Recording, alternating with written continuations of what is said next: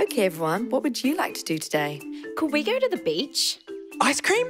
Ice cream, ice cream, ice cream! I think there's a pretty sweet dinosaur park around here. Could be cool, but like, whatever. I still need to buy some new golf clubs if we have some time. Great.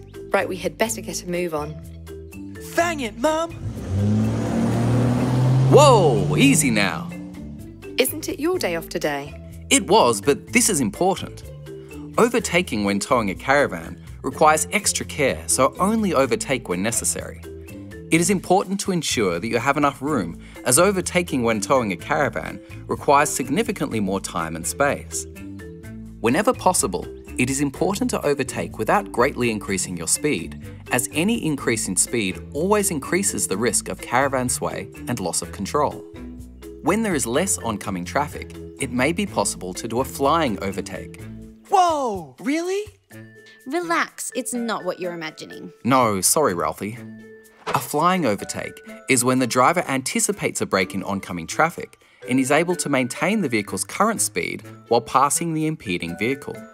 This is a safer option as it limits the need to quickly accelerate.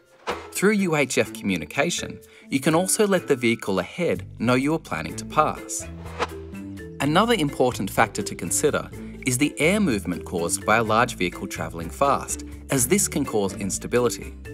If there is any doubt that the driver can safely overtake, it is always better to hold back and maintain a safe distance behind. This allows other vehicles to overtake if they wish. That's fine. We're on holidays. Exactly.